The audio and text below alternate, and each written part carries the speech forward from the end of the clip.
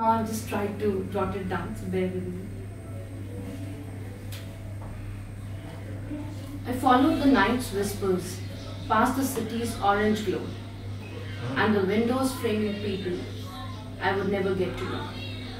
While the air hung thick with silence, weighed by things I wouldn't say, with lifted feet, with hands still poised, the past, the dark, the unfathomed retrospect, the sleepers and the shadows.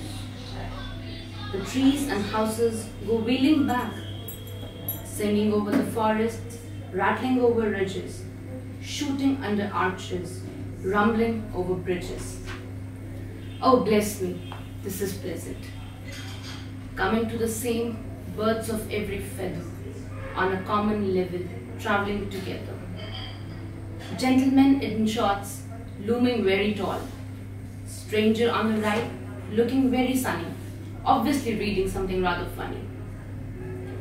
A woman with her baby asks about the distance. Says it's tiresome talking. Noises of the cars are so very shocking.